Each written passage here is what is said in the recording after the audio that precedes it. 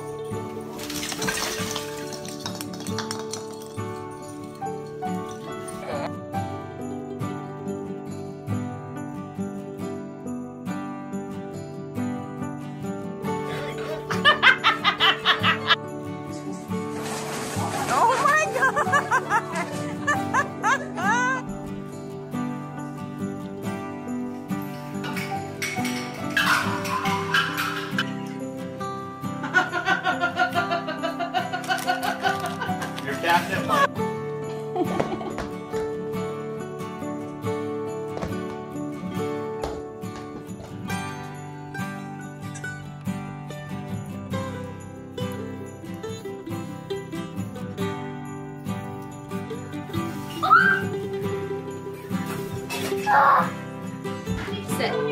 High five. Stuck? That's your own damn fault. You should have been gonna get it. Come here.